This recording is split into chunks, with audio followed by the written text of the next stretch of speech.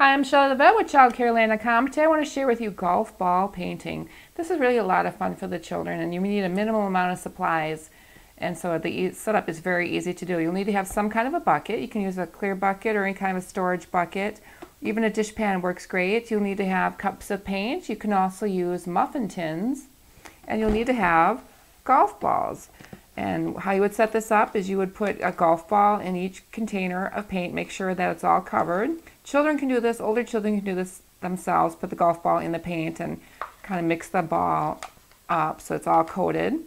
So you want to do that for each one of the um, golf balls that you'll be using, each color that you're going to use gets a spoon, paint, and the golf ball. And again, you can use muffin tins or you can use individual cups. So once all the golf balls have been coated, or if the children coat them, themselves, you would need to put some kind of a paper on the bottom of your bucket. And I use poster board. You can use cardstock. Regular paper works well too, but I think the thicker the paper, the um, better the outcome. And then the children would just take their cup, drop whatever golf ball color they want onto their paper. And I'm going to do a couple, I think. I'm going to do red and green and um,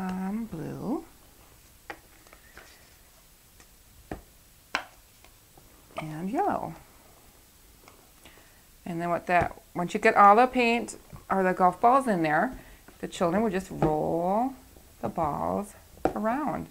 And it makes a really cool design on here. My yellow one's stuck. You just keep rolling. And these will wash off too for the next child or if you have um, uh, more than one of these set up too. That'd help.